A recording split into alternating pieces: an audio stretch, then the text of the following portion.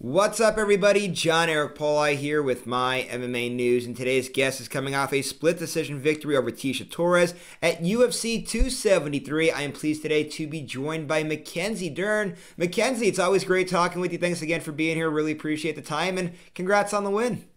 Yeah, thank you. It's always great talking to you, and um, I'm definitely happy I got a win. So I'm excited. I'm excited. So yeah, hard fought victory for you. You've had a few days now to let it all sink in. Just how good does it feel to be here right now, a few days removed from what was a great victory for you? Yeah, it's like you know, I wasn't having any. I was trying not to have too much pressure and stuff like that. But it's like Tecia's kind of that that girl, that fighter. That I mean, she's only lost to like former champions or people who became the champion later. You know, um, and so it's like, and all of them have been like close fights, like decisions, you know, with Zhang Weili, with Rose, with Joanna, you know, with all these girls. So, like, I trying not to keep any put any pressure on me, but deep inside, I was like, man, I hope I'm part of those girls, you know, the ones that get the win over her. I knew it was going to be a tough fight. Um, I knew she was coming. Um, you know, just each time she's been evolving so more, so much, really from her beginning in the UFC all the way till now, I feel like she's just evolved so much and she's getting so much um, mature as a fighter. And so I knew it was going to be a tough fight. Um, but I was like, man, it's going to be really important on a personal level if I can get the win over Tecia. You know, I know I have so much, I'm still have so much to, to get better at.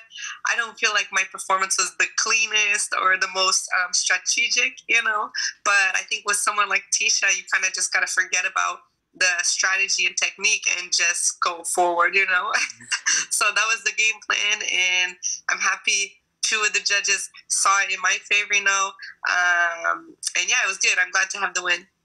So now, before we get into the breakdown of this win and get into the X's and O's of everything, I do want to back up for just a second, and that's to the UFC 273 press conference where you and Tecia kind of had a little back and forth there. I think it threw a lot of the fans off. It threw me off, at least. I wasn't expecting that to uh, happen between you guys. Just uh, talk about that moment at the press conference and kind of what happened there that led to that back and forth. yeah, you know, I mean me, it's funny because me and Tecia, like we're we've been cool with each other for since I've met her, you know, and I still like so much respect for her and and feel good. But I felt like a little bit at the at the press conference, you know, she was just kind of like talking a little bit, and I didn't see her. I didn't feel her like disrespectful, but I felt like she was kind of like just looking past me a little bit, you know, like oh that my jujitsu wasn't that good, you know, like I wasn't going to be able to catch her, you know, uh, like get to her.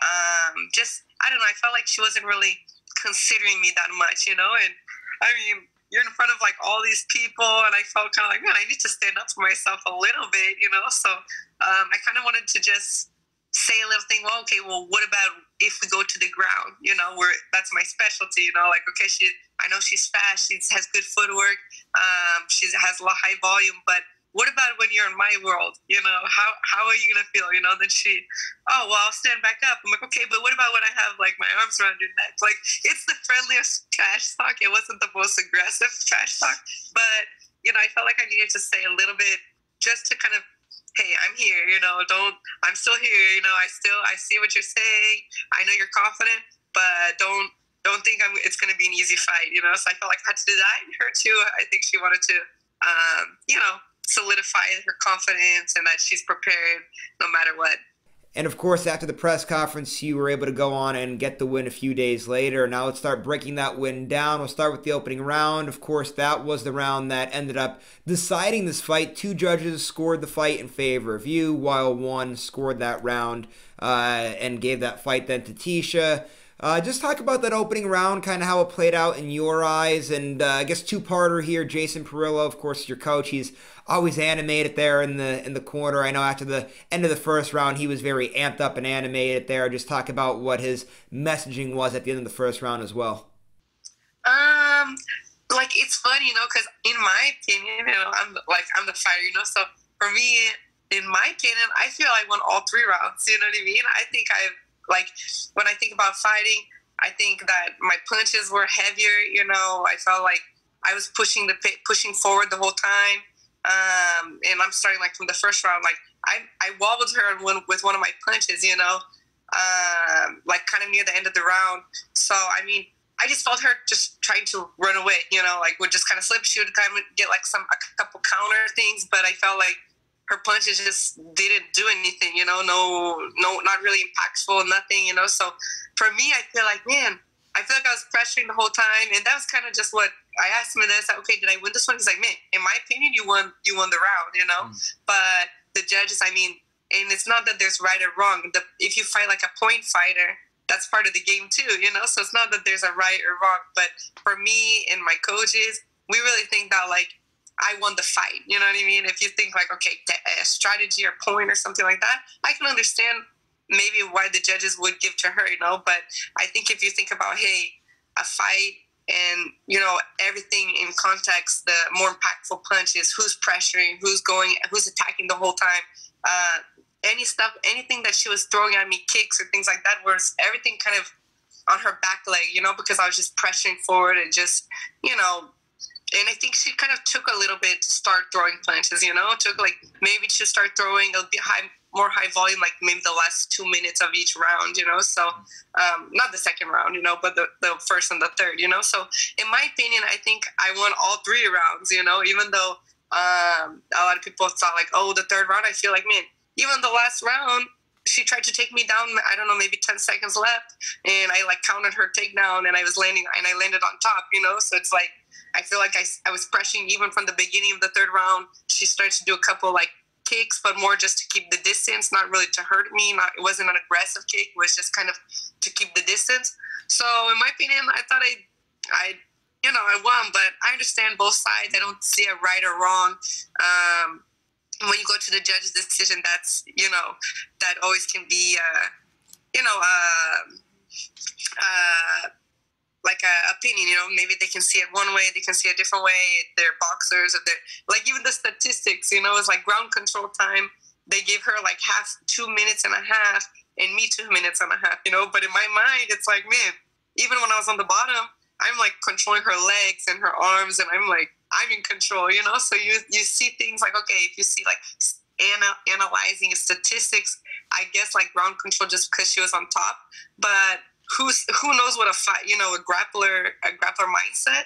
Man, I was in control the whole time, even on the ground, you know. So I was like, mm-hmm. she had ground control, like man, I, you know what I mean. So it's like little things like that that I see that the sport of martial arts, and then the difference between sport martial arts and actual fighting, you know, martial arts, you know. Yeah, judging is always difficult to try to figure out like what exactly a judge is looking for and the way how they score certain things. And like for me personally, one that bothers me with judging is uh, whenever there's a takedown that lasts literally half a second. Like you blink your eye and you can miss the whole entire thing. The guy's literally back up like that. And that's what ends up being the deciding factor in a round was this blink of an eye takedown. That one's that that bothers me quite a bit, but uh, Uh, I know there's a lot of moving parts with judging and what they look for, and there's a whole. I, I know the judging thing can be a very complicated thing, but to the judges, come come to the defense a little bit. It is a thankless job. Obviously, the you know a lot of fans are always on them. Fighters are always on their cases uh, I, I know a lot a lot going on with with all the judges there, so it's a it's a very difficult job. But anyway, back to breaking this fight down here. Um, you kind of summarize rounds one and three there for us, and kind of the way how you thought of things there. But I do want to ask you about the second round. That was obviously your best round of the fight. It was an exciting round to watch, too, let me tell you. I mean, I was at the edge of my seat, like, oh my God, what's going on here? There were so many crazy scrambles and different submission techniques, and it was just such a fun round to watch if you're a fan of the sport. Break that round down for us to kind of explain everything that uh, took place in that second round. Oh yeah, for sure. I mean, I definitely thought that the Kimura was tight. You know, it was really tight. But I mean, she was she was resisting good. You know, um, the leg lock. I was good, but I think I could have maybe tried a little bit more on the leg lock. You know, I kind of switched to the toe hold kind of fast. You know, I kind of, oh, okay, I'm to, you know, I was kind of transitioning instead of maybe I could have stopped, tried a little bit more because I think maybe going back and watching the fight and seeing the leg lock, okay, the leg lock was was close. You know, I should have insisted a little bit more on the leg lock and the kimura too. You know, I think that the kimura um, was tight, but I was staying like kind of technical, you know, like trying to bring her leg, her arm back past her back, you know. I think I was kind of more expecting that she was gonna tap. Um, and yeah, I mean, she didn't, you know. So going back and thinking, like, man, I think it was missing like that little bit, kind of that meanness. You know what I mean? It's like, okay, I could just yank it, you know, and maybe she would tear her her shoulder, tear her ligaments, you know, and be out for you know a long time, have to do surgery. Um, or I was kind of in my technique way that I was like trying to to push it back, you know, force it back, and I thought that she was gonna tap, you know. So I think if I would have been like maybe meaner, had that more aggression in me, like okay, just just yanked it, you know, and you know what I mean? Like sometimes we, you need to have that, you know what I mean? And even though you don't want to hurt the person, you know, I don't want to see her out for tons of months or anything like that. But going back, it's like, man, it's part of the fight, you know, it, like, okay, will she do that to me? Probably, you know, she would do to me. So it's like, I see little moments like that where I'm still maturing as a fighter and just making the right decisions. And you know, still having that aggress, that meanness, you know, that I think we have to have to really win the fight. She's never been submitted before, finished before, so I really wanted to be her first, like finish, finish her first. Um, so I feel like I kind of missed out on that opportunity because of that. And then later, you know, it's like, oh, I saw she said like, oh, she went like toe to toe with a black belt, Brazilian black belt, and stuff like that, you know. But I mean, in my mind, she was like just just defending and like hold, you know what I mean, holding. I wasn't like really like toe to toe, you know what I mean, so something like that. So I mean, I'm excited. I don't think that there are too many girls with my. Actually, I don't think there's any girls with my jiu-jitsu in the UFC. You know, so I think it's really cool to kind of hear the crowd and people like um, appre- appreciating things like jumping guard and jumping kimuras and kind of the, the way I'm flowing on the ground, going from knee bar to toe hold and these things. And I'm like, okay, you know, people were booing a little bit, but I think, you know, overall they were appreciating kind of this different style and seeing like, hey, jiu-jitsu is a martial art too. You know, I know they like the blood and the cuts and stuff like that, the knockouts, but it's cool to see people really showing that appreciation for my style and how it can be effective too. Well, Mackenzie, let me tell you, I was out at a bar for this fight watching it. Uh, I was watching the whole main card at a bar, and when your fight was on, nobody was booing, especially in that second round there, okay? I could tell you, everybody was all animated and excited and at the edge of their seats, like, oh my God, what's going on here? It was really a great, great round uh, for you to watch. It was a fun round to watch for the fans. It was a, a great, hard fought uh, fight by both of you guys. And now I do want to talk about uh, what was going through your mind at the end here. So obviously, fight completes. We know it's a hard fought fight, like we said several times. Uh, Bruce Buffer starts announcing the judges' scorecards, and he immediately goes into split decision mode. So when he's announcing that's going to be a split decision, what's going through your mind? Like, is your heart racing? Are you nervous, or were you pretty confident that you had gotten the job done that night? Um, I mean, when the fight was over, I knew I knew it was going to be a close close call. You know what I mean? Because I mean, that's that all her fights are close call. You know, that's kind of her style. So um, I don't know, just coming from the jiu-jitsu background, all my jiu-jitsu tournaments, my goal is never to let it in the judge's decision. You know, I never been mad at judges' decisions really, even though if maybe I won't agree to it, if I didn't agree to it.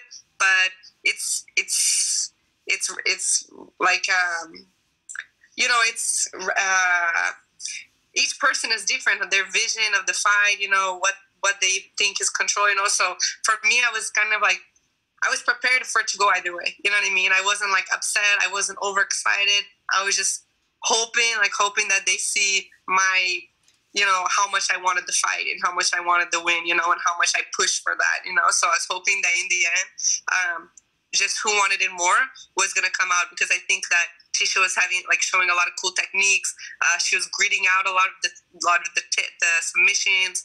Um, you know, like the third round, I took her down and then she like pushed me off with her feet. You know what I mean? With her with her leg. You know, people like, oh man.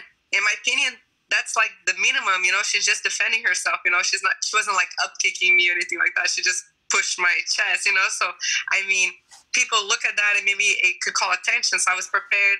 Okay, uh, what the judge is gonna say. I I I did my best, but we went to the judge's decision, so I need to be prepared whatever they say. And then, of course, after that, you know, a little bit of chaos there inside the octagon of Bruce Buffer announcing the decision there. Uh, there's a great family moment for you, right? Your husband's inside the octagon. He's jumping up and down, celebrating, being a great husband, cheering his wife on there. And then there's another great moment, obviously, where your daughter kind of runs up to you. You're holding her as you're doing your octagon interview with Joe Rogan. So, what a great moment for you. What a great family moment there for you and your family. Uh, just talk about that moment there and what that was like to be able to have your family inside of the octagon and be able to hold your daughter while you did an interview with Joe Rogan. Yeah, for sure. That was such a great moment. You know, I, I was surprised. I didn't know they were going to come in there.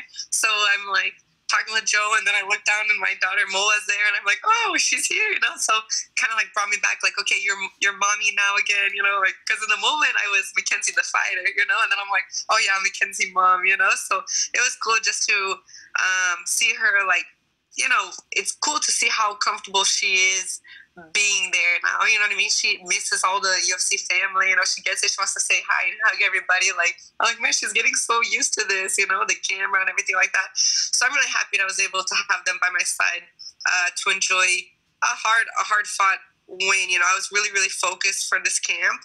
Um, like the most focused I've ever been for a fight. So I mean, I was. I spent little bit of time with them. You know, I, I didn't get to spend a lot of time with them for the last eight weeks before the fight, um, just because of how focused I was. But it was like, man, I'm just trying to trying to t- change a little bit. You know, I'm trying to be Mackenzie the fighter, focus on that, um, and I'm hoping that they'll understand. You know, in the future, like, hey, we do this now. For we can relax later and enjoy later, you know what I mean? So, um, yeah, it was really really special for me to feel like, oh, okay, I can finally relax and be, you know, just not have to think about anything for a little bit. And of course, you guys had a lot to celebrate after a win there. Just talk about how you guys celebrated as a family afterwards. yeah, we had a couple drinks. You know, we went um hotel, or we went back to the fighters hotel, and we started to have a couple drinks to celebrate. And we're like, you know what? Let's stay here. Let's stay down here in the in the reception. You know, and like a lot of fans were coming in. So it was kind of cool to, you know, like I said, I was really focused. So even during fight weeks, there'd be some fans near the hotel and stuff, and I wasn't really talking to too many, just like a little bit from distance, you know. But I was just trying to stay focused and say, like, man, I can't, I can't, guys, I'm sorry, you know. And I'm like, let's let's celebrate with the fans now, you know. Like there, he it was so good to be back in front of the fans. I had like my last four, four or five fights were the apex, so I was really really enjoying just being back in front of a crowd and celebrating with them, you know.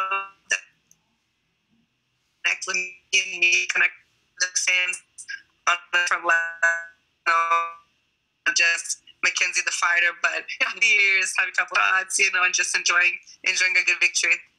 All right, Mackenzie. Uh, another thing I got for you here is a question that I'm sure might annoy a lot of fighters, but it's one that I'm going to have to ask, and a lot of fans will be tuning into this question here.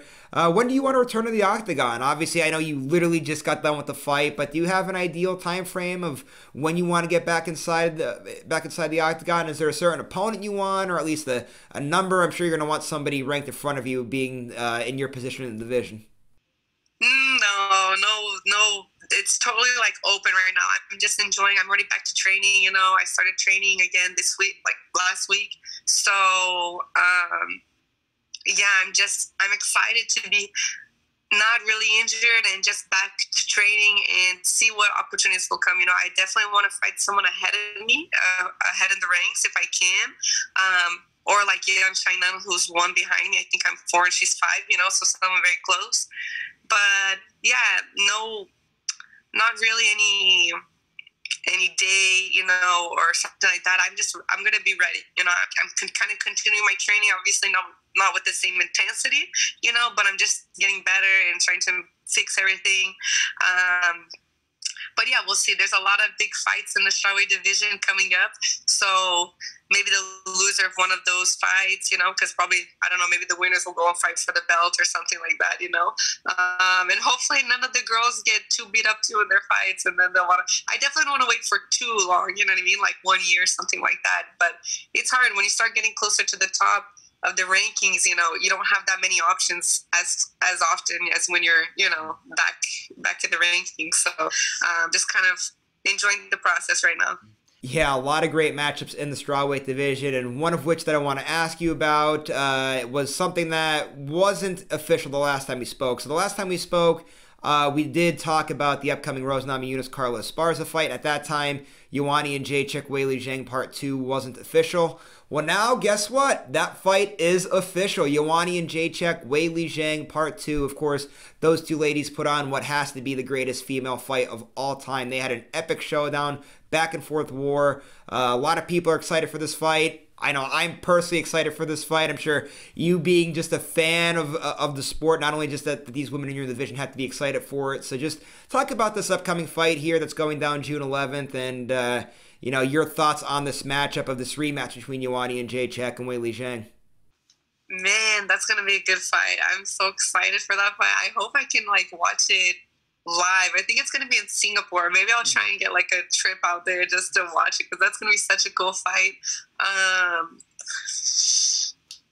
you know what? I think Joanna's going to take it this time. You know, I think that it was such a close fight, you know, the last one, but I think I think Joanna's going to take it. I think she's going to fix a couple mistakes um, a, a, little details, you know, and I think she's going to come in with a little bit different strategy. But I think it's going to be fight of the year again, one of the fights of the year. Um, but I think I'm going to go with Joanna this time. Yeah, definitely. Can't wait for it. It's going to be a great, uh, great fight between those two ladies, especially after what they went through the first time. Can't wait to see the rematch. Uh, Mackenzie, it's always great talking to you. Thank you, thank you so much for all the time here today. Uh, one last thing now before you roll out uh, social media management sponsors. Anybody got to give a shout out to? And uh, actually, speaking of social media too, congratulations! Uh, I believe earlier this week, what you got your one million follower mark there on Instagram. So that's great in itself. So congratulations on that. So anyway, yeah, take it away. Floor is yours. Yeah, no, thank you guys so much. Thanks all the fans. You know, wouldn't be any none of this would be possible without the fans. You know, they're the ones that you know watch us. They're the ones that support us. So thank you so much for all my fans. You can go to Mackenzie Dern um, on Instagram, on Twitter, Facebook, and yeah, that's it. Just thank you everyone, and thank you for the time. Always good to talk to you. All right, Mackenzie, thanks again so much for all the time. Really appreciate it. And I appreciate all of you guys out there watching today's interview. If you liked it, please go to the bottom, give it a thumbs up, subscribe to this YouTube channel if you haven't done so already. And mymmanews.com, great content comes out there across all levels of mixed martial arts from the regional scene to all the great professional organizations as well. So make sure you guys are going there to get all of our great content that we have. So, uh, yeah, thanks again so much for watching, guys. And uh, please go to our social media pages as well. Uh, give us a like and a follow on that as well. We'll see you later, everybody.